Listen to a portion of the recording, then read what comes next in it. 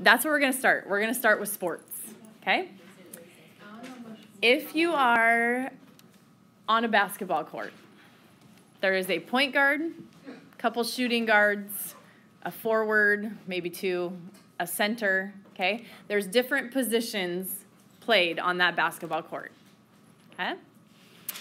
Um, if the point guard is getting tired and needs a break, the coach says, hey, Nathan, you would never be a point guard. Never. You would be a center.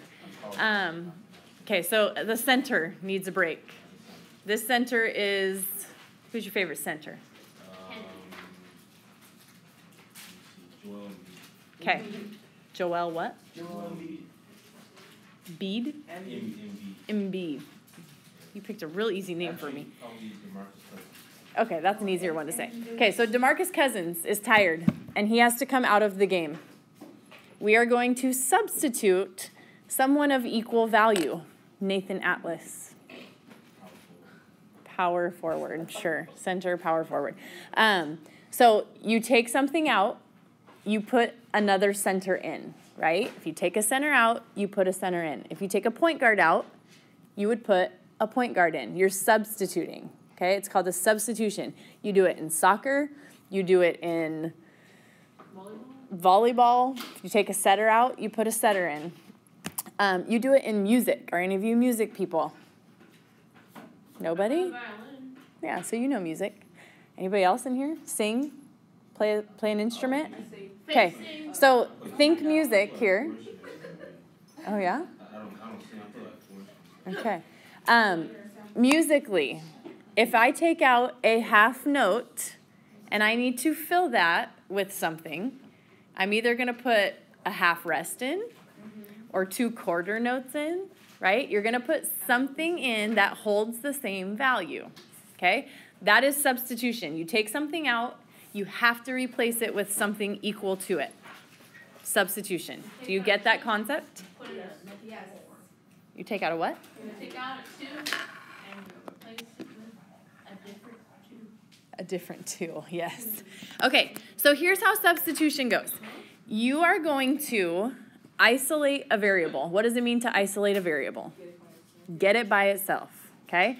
Once you isolate a variable, then substitution is substituting, and I will show you what I mean by that right now.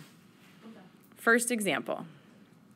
Okay, you will have a system of equations that looks like this, for instance. Y equals 3x and x plus y equals negative 32.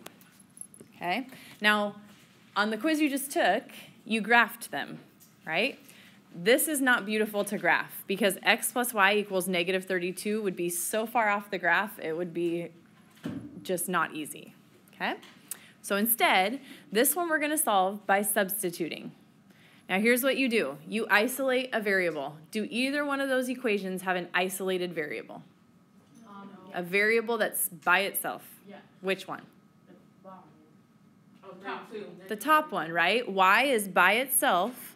Oops, we took the pen away. Y is by itself up here, so it is isolated, okay? Now, I know that Y is equal to 3x. So, if you look in your next equation, there's a Y that we can substitute a 3x into. Do you see it? right here, we have a y. We can take that y out and put this 3x in because y and 3x are equal. Do you see that? Yes? Okay, so if I know x plus y equals negative 32, I'm going to replace that with x plus 3x because 3x and y are equal to each other as we saw up there. Okay, so it's x plus 3x equals negative 32. So I'm still using this equation. I'm just taking the y out and putting the 3x in. Substitution. Why do I need to substitute? Why can't I just solve this equation or this equation? Cause you can't, the bottom one doesn't have anything that you could like. Right, you have two different variables, right? You can't get a number from two different variables. You need to keep one variable in the problem. So we have just x's here. Now we can solve this equation. What's x plus 3x? Four X. 4x. So 4x equals negative 32. What do I do to solve that? Oh. You divide. So x is negative 8. Okay, so that's our x value. But when we solved these, when we graphed, we always got a point, right? So we need to know what the y value is also. So what you're going to do is you're going to go back up to your original equation and you're going to plug it in to solve for the y. So if y equals 3x and x is negative 8, then I can say y equals 3 times negative 8. So y is negative 24. That means my answer is negative 8, negative 24. Okay? That is substitution. You're solving for a variable, and then you're substituting what that variable equals, and then solving for x and solving for y. What would we do? Can I move on? What would we do for this one? Okay, reset your brain. Pay attention on this one. If I have y equals 2x plus 7 and y equals x minus 1. Okay, here's your steps. First step, isolate a variable.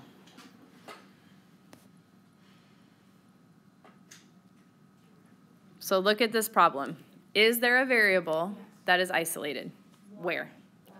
Y on both of them, right? This one has two variables that are isolated.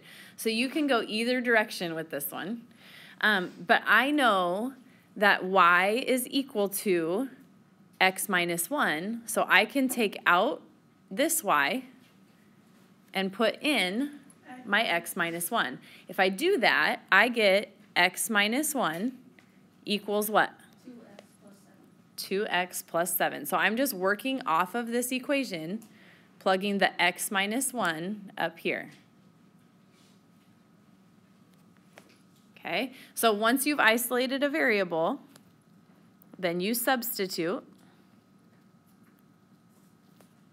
And then your last step is solve for x and y. Okay, so here, x minus 1 equals 2x plus 7. How do I solve that for x? Take the x away here. We're going to take away an x, take away an x. So 2x minus x is x. So this is done. This is gone. You have x plus 7 equals negative 1. And then you're going to take away the 7. So negative 8 is your x value. Okay? How do I find y?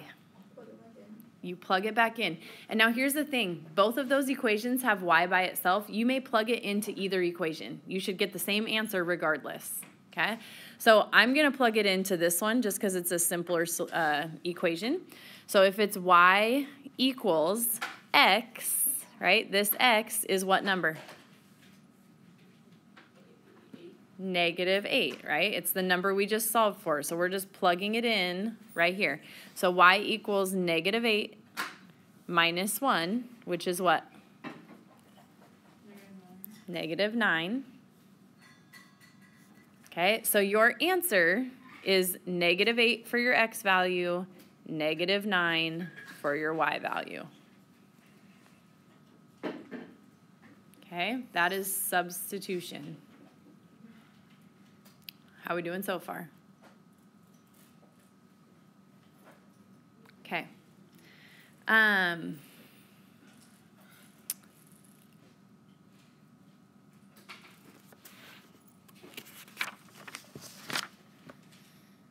one last problem.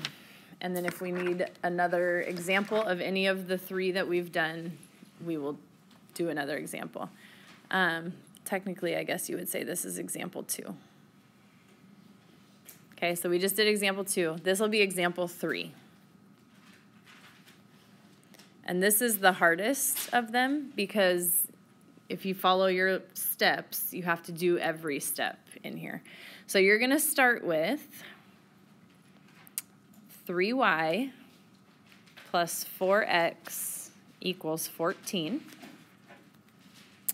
and negative 2x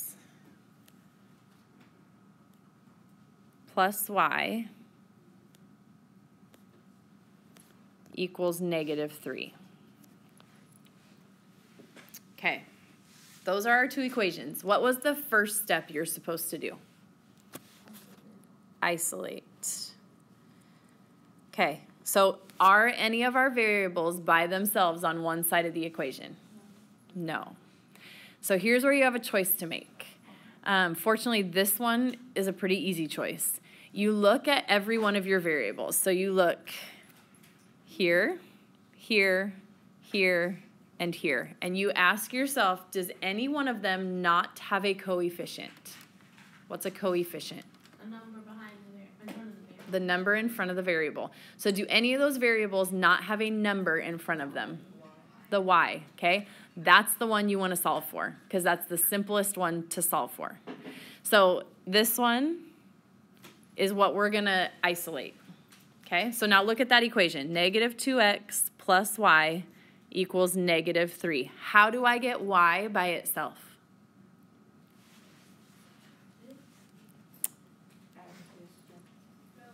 We're not going to subtract the y because that's just going to create, you could, but it's going to create more steps for you. You want to leave the y there and get rid of the 2x. How do I do that? You're going to add. So we're going to add 2x, add 2x, and I get y equals 2x minus 3. Okay, so now this equation that we just found is the same thing as this equation. We just rearranged how it's written. So we're going to be done with this one, and we're going to use the black one instead. Okay? So now look at my system. I have the red was 3y plus 4x equals 14. Um, the black is 2x minus 3 for our y value. How can I substitute? Where am I going to put something? If y is equal to this, 2x minus 3, which variable am I taking out so I can put that in? The y, right? This y right here is going to get replaced by 2x minus 3 because y and 2x minus 3 are equal in value, right? y equals 2x minus 3. So we're going to do this equation again. We're just going to substitute. So I'm going to do 3 times my y. What's y? 2x minus 3. Okay, so that's 3y. And then we just finished the equation. Plus 4x equals 14. Okay, now from here, you guys know, or you should know how to solve that. You're going to simplify and solve for x. So what's my first step to solve for x? You're going to distribute. So it's going to be 6x minus 9 plus 4x equals 14. 6x plus 4x is 10x minus 9 equals 14. What do I do next? Add the 9. So you get 10x, this is gone, equals 23. And then you're going to divide by 10. So you get x equals 2.3. Okay? Now, you have options here for where you plug that x in to get your y, but which would be the best equation? Of the three that we have, which equation is the best one to plug an x value into? It's always the isolated one, okay? So if you look at our three equations, the x getting plugged in here is gonna be your easiest. So we're gonna say y equals two times our x value, two point three, minus three. Okay, then you simplify that, y equals four point six minus three, which means y is one point six. Okay? What's your answer?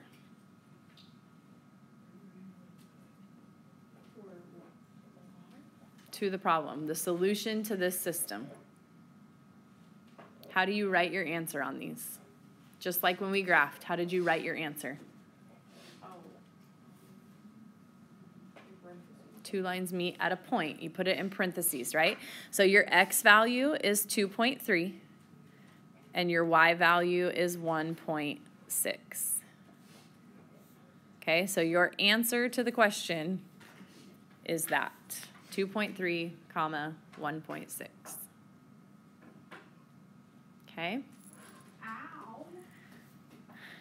Okay. Um, like I said, this is a tough lesson. There's a lot going on here.